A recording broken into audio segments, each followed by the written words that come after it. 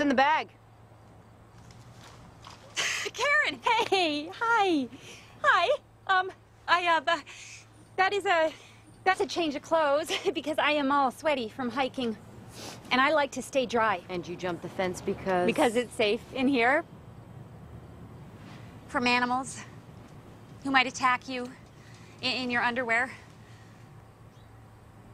Okay, look it. I'm trying to get the power back on illegally. I've gone through all of the proper channels and nothing has gone my way. So I am stepping outside the law for the sake of saving the town. And if you have a problem with that, then fine. Just arrest me. Okay. Go ahead.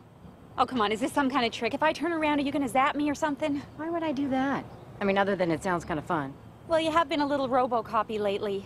Okay, yes. I went a little overboard on the tickets, but I got a baby to look out for. Everyone thinks I'm being such a jerk, but I love this stupid town too, you know, and I don't want to see it disappear. So if whatever you're gonna do is gonna help, well, then just gonna go over there and look for my horse. Over here, where I can't see you. Go steal the power! Oh, gotcha.